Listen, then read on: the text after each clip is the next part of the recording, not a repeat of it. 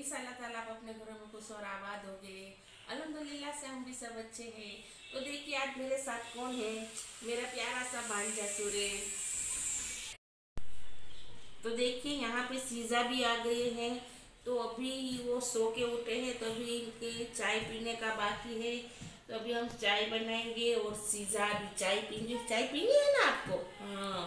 देखिए, अब थोड़ा सा हल्का फुल्का वो नाश्ता भी करेंगे और चाय भी पीएँगे तो daily routine by Rizwana Gabbal में आप सभी का स्वागत है। और प्लीज़ मेरे चैनल को आप सब्सक्राइब कर लीजिएगा।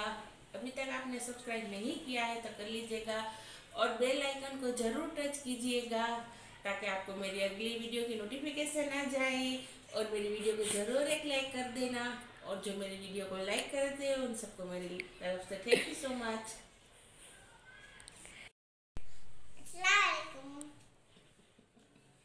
देखिए कितनी प्यारी सी गुड़िया है हमारी सीज़ा। आप सबको सलाम कह रही है।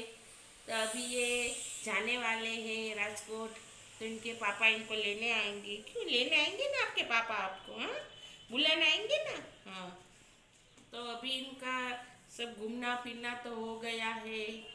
तो अभी ये एक दो दिन में वापस चले जाएँगे राजकोट। और ये जाएँगे तो हमें तो बिल्कुल भी अच्छा नहीं लगेगा, क्योंकि ये जब घर में हमारे आते तो बहुत ही रौनक आ जाती है और सच्ची रौनक तो बच्चों से ही होती है। तो आज सीजा ने नया फ्रॉक पहना हुआ है और देखिए मैचिंग ही नाखा है इन्हें। ने जो ना, नाखा हुआ है ना सीन में देखिए पोनी छोटी सी वाली हुई और उन्हें लूजर भी मैचिंग नाखा हुआ है। एक फ्रॉक के क्यों मैचिंग ना डालेंगे बोल लूजर क्यों हमने? अभी इनका मूड जरा भी नहीं है, इनका मूड अभी ऑफ़ है, क्योंकि इन्होंने अभी चाय नहीं पी है तो चलिए मेरी प्यारी सी भांजी के लिए मैं चाय बनाऊँ ना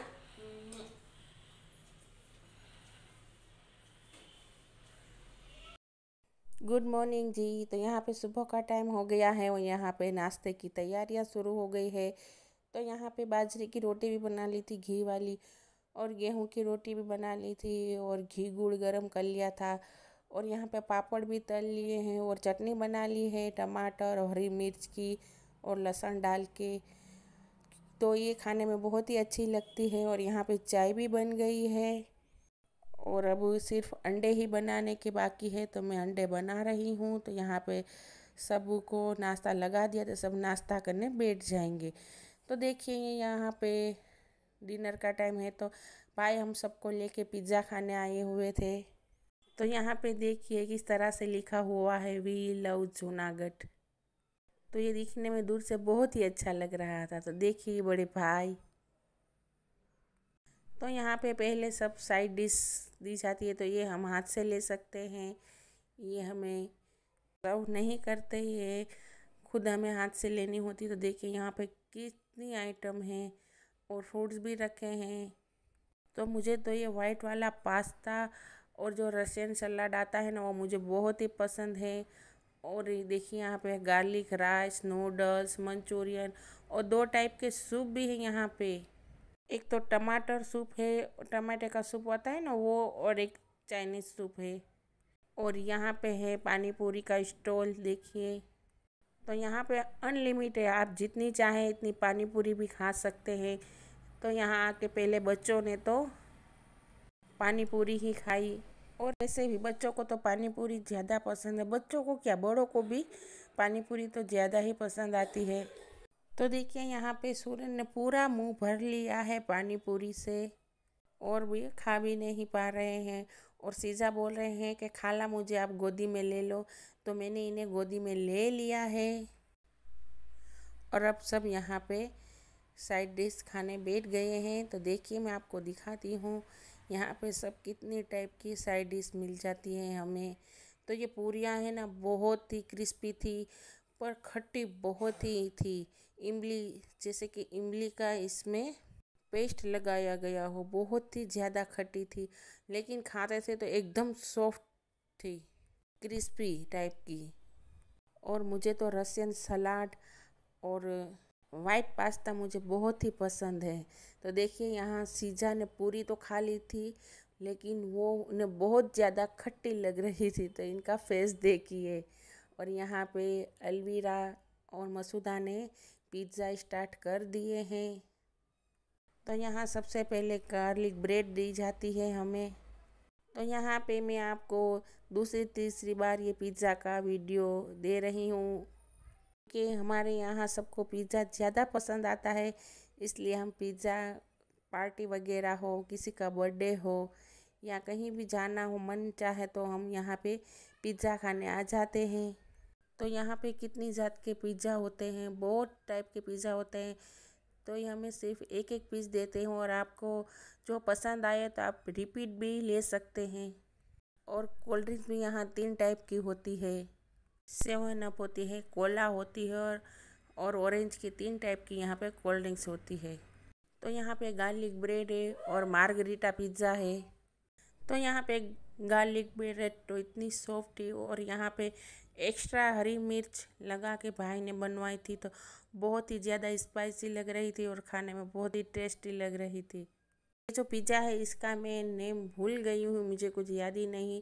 लेकिन ये बहुत ही अच्छा था, एकदम क्रिस्पी वाला था और जो नीचे से लेयर होती और एकदम खारी जैसी लग रही थी और बहुत ज़्यादा स्पाइसी था ये पिज़्ज़ा। ये तो ये पिज़्ज़ा तो किसी ने नहीं लिया, मैं और बड़े भाई हम दोनों ने ही लिया था।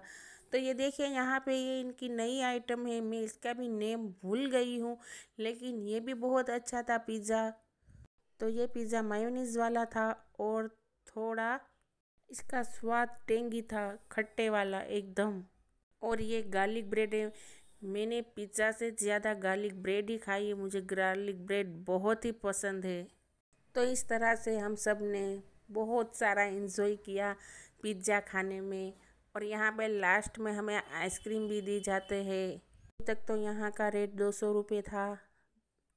यानी कि टू हंड्रेड रुपीज़ तो अभी यहाँ पे इसकी जो पिज़्ज़ा का रेट बढ़ गया है तो टू हंड्रेड ट्वेंटी रुपीज़ हो गया है। तो देखिए, हमने खा लिया और बाहर निकल गए हैं। तो बच्चे सब यहाँ पे फ़ोटो क्लिक करवा रहे थे तो मैंने भी थोड़ी सी क्लिप बना ली। तो देखिए, यहाँ पे चारों भाई बहन खड़े हुए हैं। तो मैं बाहर से आपको इस रियल पिज़्ज़ा का व्यू दिखाती हूँ। तो यहाँ पे लिखा है, ओपन। तो अभी चालू है, यहाँ पे पिज़्ज़ा खाना स्टार्ट है अभी तक तो यहाँ के पिज़्ज़ा बहुत ही अच्छे और सॉफ्ट होते हैं और चीज़ भी बहुत ज़्यादा इसमें डालते हैं। और यहाँ की सर्विस भी बहुत ही अच्छी है। तो देखिए रियल पिज़्ज़ा। तो मम्मा नहीं आई थी, वो घर पे ही है भाई के। तो भाई ने यहाँ पे पैक करवा लिया है इनके लिए पिज़्ज़ा और देखिए यहाँ पे सीज़ा बैठ गए हैं बर्गमैन पे।